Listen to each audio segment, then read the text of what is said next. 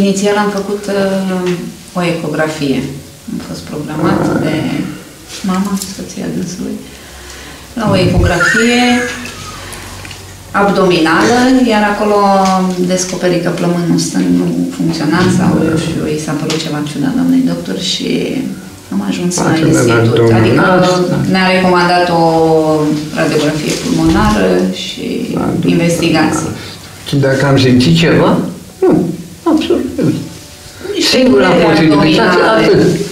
Că aveam, aha, și nu mă puteam nici să mă aplic, făceam, nu, nu, Da. Și restul nimic, nici acum nu mă doare, nu, nimic. Am zis, gata, ce să mai avea asta? Ne-a diagnosticat de, cu un cancer destul de avansat. Patru din cinci.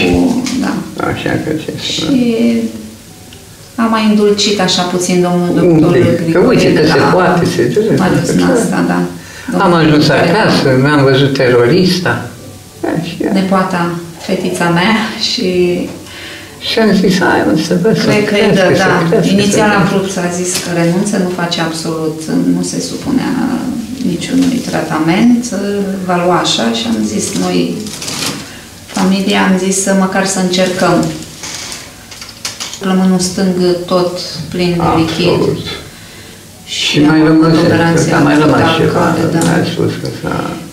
A revenit, dar nu tot. Și cred că a stagnat și Și nu, s-ar putea, țin minte așa că s-a necrozat e o operație Bun. întotdeauna și lobul jos Da. de tot s-a necrozat. Apoi au urmat investigațiile care durau uh, Și sunt trei am sau luat patru, parafina, dura fiecare trei, patru analiză peste. cam o lună și a fost perioada aceea de așteptare până eram nerăbdător să începem uh, tratamentul cât mai repede, știam că e avansat și dar uh, analizele ne-au ținut pe loc rezultatele. Cât o lună, că domnul Cost, doctor Costovici, cam Asta, două analize am avut de făcut. Am descoperit că totuși e un cancer cu celule care nu Nu vor să prea meargă. se, da, nu se extinde. Vârsta cred că e un avantaj, ferească Dumnezeu pentru cei tineri, pentru că cred că celulele se Multiplică, da, mai mult crești. mai repede, dar cu cât corpul e... Cred că vârsta totuși a fost un avantaj. A, ce și-o fi zis vreodată la bătrânul nostru ce mai luăm ceva de la el. Da, să lași.